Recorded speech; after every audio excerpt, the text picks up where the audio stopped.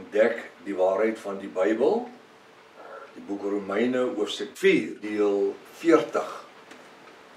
Ek is professor Hannes Redlinghuis van die Eerste Gemeente van Javashua in Suid-Afrika, Pretoria, Montana gemeente ook internasionaal. Sou jy belangstel in enige van die Bybelpakkette of die boekpakkette?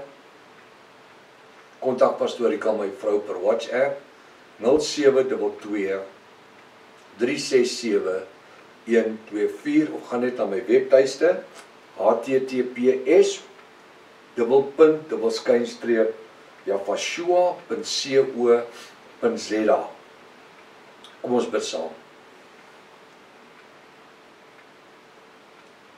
Ons wil vanmôre u aanbid. Vir die baie dankie sê Vader vir hierdie bonatuurlike geleentheid wat U vir ons geskep het. Vanmôre aan die einde van hierdie week bymekaar te wees. Ons bid spreek U tot ons elke een in en deur die woord en laat U naam geheilig word. Leer ons deur die woord om nou gesed te wandel. Leer ons deur die woord om vanmôre lig te wees wat skyn. Vars brood, vars water en vars sout in 'n verlore wêreld. Terwyl daar mense is wat verlore gaan, wil ek bid dat U ons gebruik om die saad van die ewige lewe te saai tydig en ontydig. En ons nie te skaam vir die evangelie van Javashua nie, want die woord sê dis 'n krag tot redding vir elkeen wat glo. Ek wil vanmôre bid dat hierdie krag, hierdie dinamos, hierdie dinamiet, laat dit deur elke een van ons werk. En laat ons waardig sal wees die roeping waarin U vir ons geroep het. Ons bid die seën op die woord vanmôre. Geef ons ontvangbare harte oor om te hoor wat die Ruach vir ons sê. Ons bid dit in die mooiste naam Javashua, die naam bo elke ander naam. Halleluja. Laat dit so wees. Baie welkom by ontbyt met Prof Hannes. Mag vanoggend se sessie vir u 'n uh, wonderlike ervaring wees. En weet vir my gaan dit nie dat dit net 'n wonderlike ervaring moet wees nie, maar dat dit diep geopenbaarde woord sal wees waardeur Jaffa ons Elohim tot elkeen van ons kan spreek. Sodat ons nou gesed kan wandel deur die Ruach. Halleluja.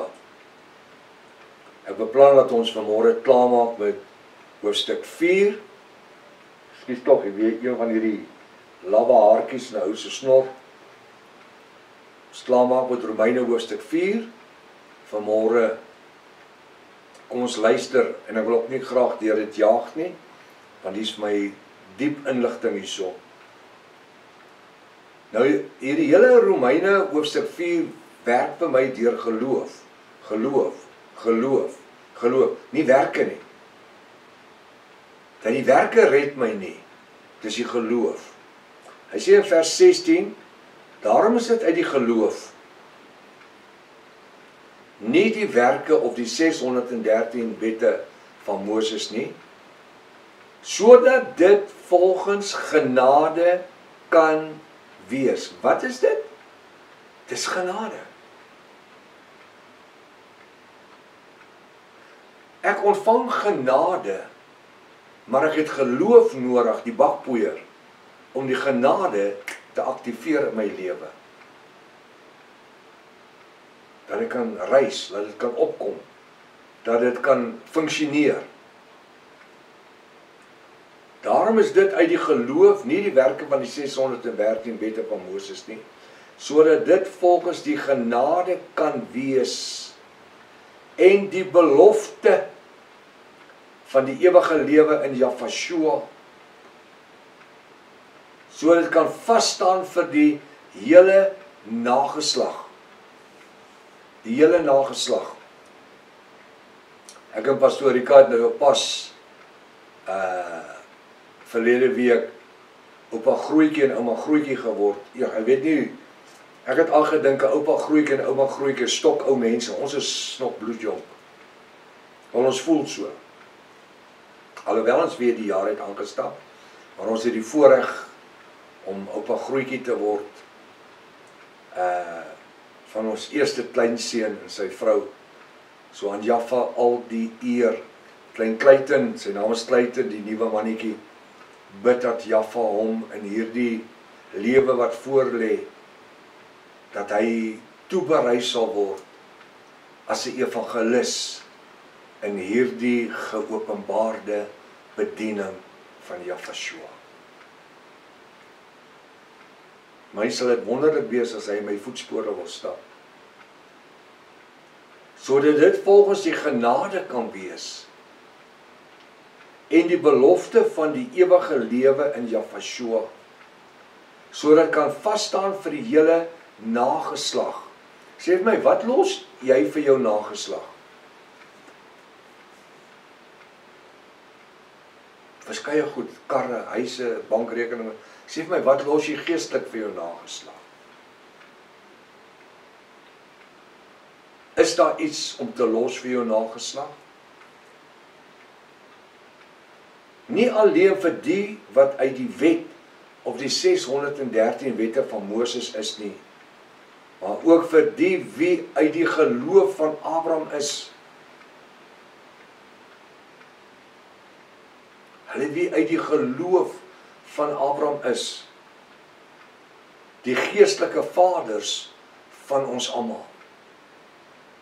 Uit die geloof. So wie is ons eerste geestelike vader? Vader Abraham.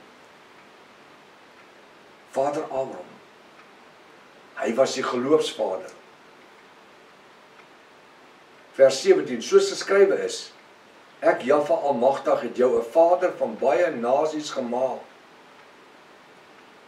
Voor die aangesig van Jahwe Almagtig in wie hy Abraham geglo het. Wat die dode lewend maak en die dinge wat nie bestaan nie roep asof dit bestaan. Wie doen dit? Vader Jaffa. Maar hy gee jou en my geloof om die dinge te roep wat nie bestaan deur die geloof nie, asof dit bestaan, maar ek en jy anders kan vat. Weet jy wat noem ek hierdie? Ek ek noem dit roekelose geloof. Partykeer moet ons buitekant die baie ons praat van buitekant die boks dink. Ek wil vir jou sê, jy moet in jou geloof uitreik buitekant die gewone en Jaffa vasgryp en hom glo vir die onmoontlike. Hierdie is roekel geloof, roekelose geloof in aksie.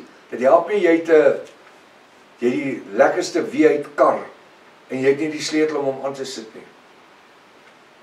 Jy kan hom nie ry nie, dit beteken niks. Daai ou mens het klein 1600 Beetletjie wat daar per per per per per dag hy. Hy's beter as jou groot V8 wat staan wat jy nie 'n sleutel voor het nie. Verstaan jy wat ek sê? Hierdie is roekelose geloof. Dit help nie ons praat geloof nie. Geloof moet gelewe word. Roeke geloof, roekelose geloof in aksie. Roep dit wat nie is nie in die geloof. Jy glo dat bestaan. Wat is geloof? Geloof is 'n vaste vertroue in die dinge wat ons nie sien nie, maar wat ons hoop. En dan wat ek gesê het, geloof is die bakpoeier van wat? Van my geestelike lewe. Hy Vader Abraham het teen hoop op hoop geglo dat hy vader sou word van baie volkere volgens wat gesê of beloof was sal jou nageslagte wees. En ek sê weer hierdie is nie die Israeliete nie maar die bruid van Jafashua. Abraham het nie geweet nie. Hy het nie eens geweet van 'n Israelitiese volk nie. Hy het net geweet sy nageslag gaan wees soos die sterre aan die hemel en die sand aan die see En ek is so bly dat ons kom uit daardie een saad. Daai belangrike saad wat ook uit die bloedlyn van Vader Abraham gekom het en uit die bloedlyn van koning Dawid.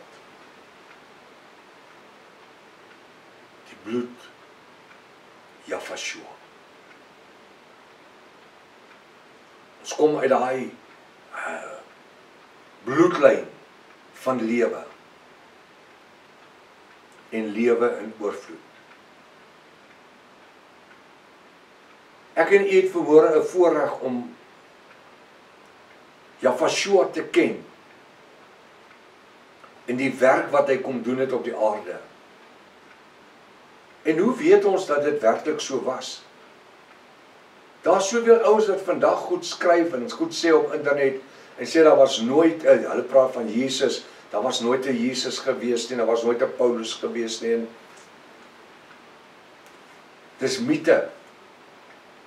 Dit was uh travelers uh karavane, caravans waar hulle uh gereis het met die kamele. Dis oorvertelde storieetjies wat hulle by die kampvure vertel het. Maar ek wil sê dat is fantasties dat daardie oorvertelde storieetjies na 2000 jaar nog soveel krag het dat 'n sondaar tot bekering kan kom. Dat 'n daggaroker, messteker, vrouslaaner, noem dit wat jy wil, dat sy lewe in een oomblik kan verander word uit 'n mite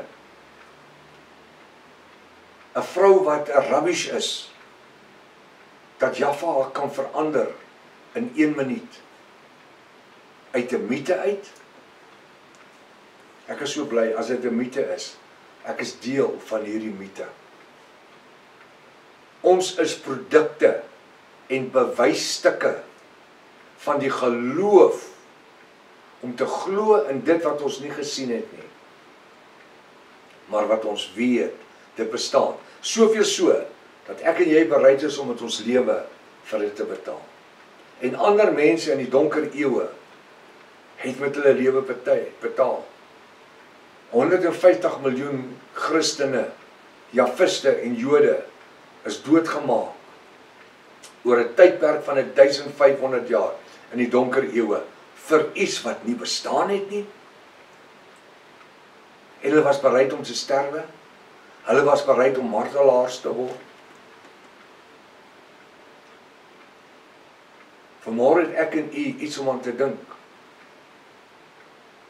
Is hy net 'n verhaal? Is hy net deel van 'n mite? Of is hy vanmôre vir u 'n werklikheid? Wat jy glo met jou hele wese, jou innerlike wese.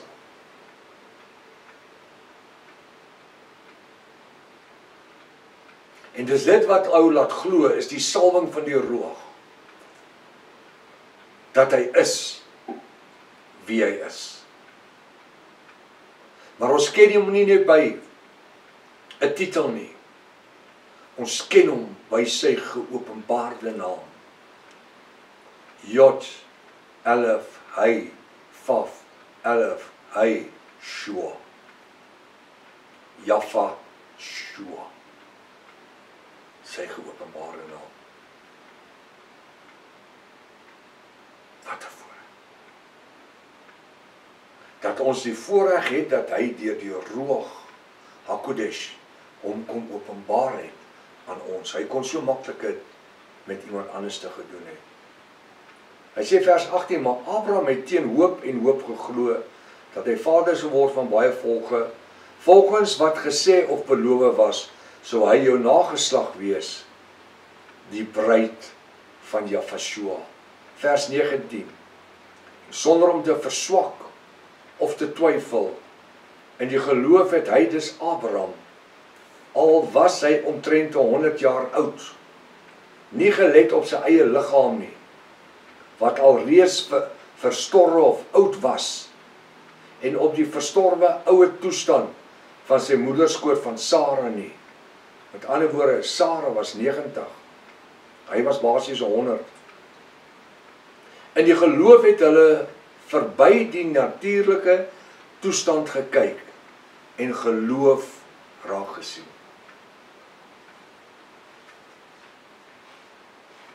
Abraham 99 jaar oud, Sara 90 jaar oud.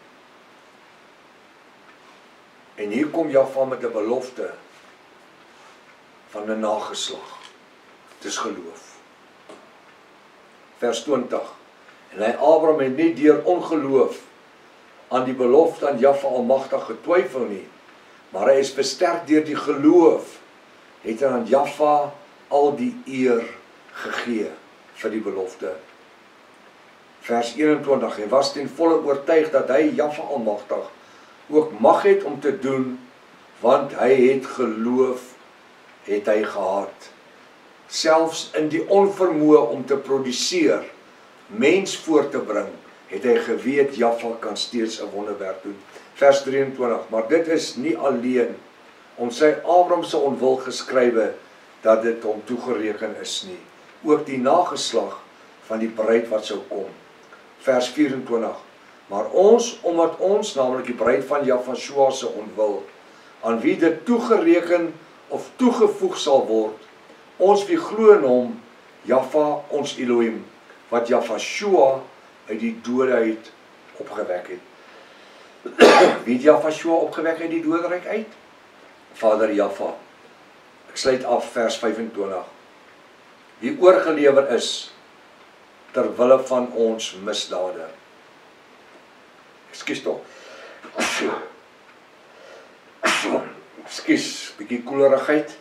Wie oorgelewer is ter wille van ons misdade en opgewek ter wille van ons, naamlik die bruid van Jafashua se regverdigmaking, se redding. Die woord verklaar: Ek leef nie meer nie, maar Jafashua leef deur my. Prys sy naam. Wat 'n voorreg wat 'n voorreg om vanmôre uit geloof te kan sê ek weet dat hy kom om sy bruid te kom haal. Hoe gebeur dit? Deur geloof. Tot ons weer ontmoet. Maranatha. Ja, Fashua kom weer. Halleluja.